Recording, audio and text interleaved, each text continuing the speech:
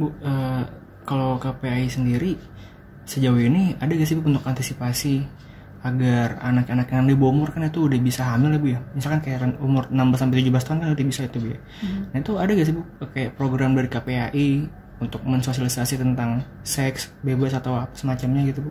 Iya. Jadi sebetulnya kehamilan itu tidak terjadi pada usia 16-17 bahkan hmm. lebih muda dari itu pun hmm. bisa.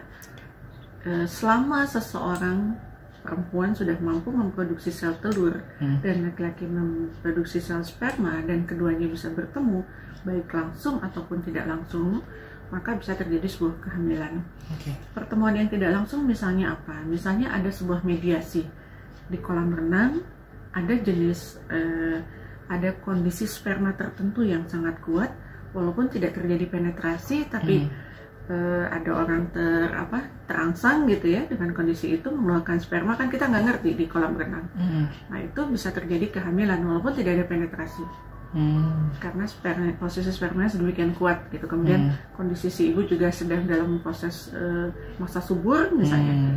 terjadi kehamilan walaupun tidak terjadi apa-apa. Nah jadi ini yang harus uh, menjadi salah satu apa namanya uh, bagian di mana kita perlu membekali anak-anak dengan uh, ilmu kesehatan reproduksi hmm. bahwa ketika dia sudah pertama kali mendapatkan uh, masa akil baliknya hmm. perempuan ditanda ditandai dengan menstruasi sekarang tuh makin muda ke arah 9 tahun bahkan hmm. tidak untuk kemungkinan 8 tahun pun sudah ada laki-laki juga ditandai dengan mimpi basah pada saat itu harusnya diberikan uh, pemahaman tentang bagaimana menjaga uh, hmm. kehormatan mereka dengan cara yang baik.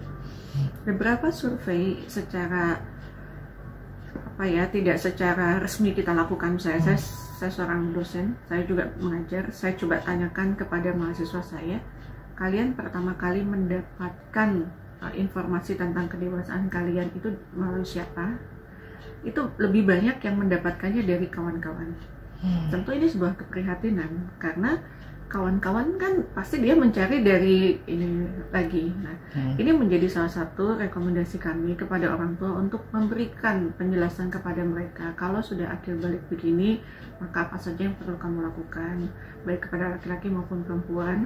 Kemudian perubahan apa saja yang terjadi, hmm. mulai dari perubahan fisik, perubahan hormonal, sehingga uh, itu tidak menjadikan bagian-bagian orang jadi stres. Okay. Kita ketahui beberapa kasus di Amerika misalnya uh, perempuan dengan premenarche syndrome masa-masa hmm. menjelang uh, menstruasi itu hmm. dia bisa sampai membunuh dan bebas karena perubahan hormonal yang sedemikian. Hmm. Nah, kita tidak menginginkan hal itu. Jadi ketika seorang tahu bahwa ada perubahan hormonal menjelang pra atau sedang ataupun post menarki hmm. pada saat dia mendapatkan hate dia tentu akan lebih mawas diri untuk hmm. uh, baik dia maupun lingkungan sekitar untuk uh, berhati-hati menjaga emosinya. Oke, okay. Bu, uh, setelah